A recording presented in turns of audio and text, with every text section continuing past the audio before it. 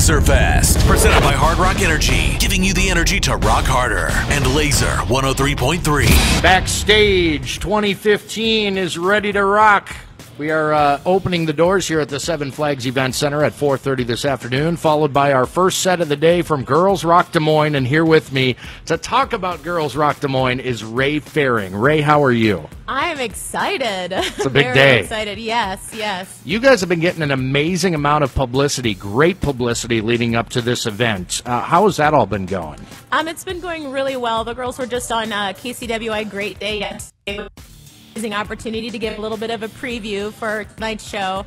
Um, we just had a feature done on us um, on WHO. We've got a lot of stuff coming up. We're just really excited that it seems like everyone in the community is really starting to take notice of this little program that I've grown into this organization and, and, and the amazing, talented girls who are a part of it. Ray, Ray Faring from Girls Rock Des Moines. Doors uh, are open here at the Seven Flags Event Center at 4:30. Girls Rock Des Moines hit the stage at five. Now I'm told the girls actually get the chance to meet Lizzie Hale today. They are super stoked for that opportunity. They're so excited. I'm excited too. There's no better person to talk to about empowerment for the females and playing instruments and following sure. their dreams than Lizzie. She's one of the greatest people on earth. For sure. We're excited. We can't wait to meet her. We're excited to see her sets. Going to do a couple of covers, and then I'm told the girls have actually written an original song for Yes, LAZERfest today. An original song just for the fans of LAZERfest. So we're excited to, to share it with everybody. This is Ray Faring from Girls Rock Des Moines. I really appreciate you stopping by and seeing us here at the Hard Rock Energy Studios.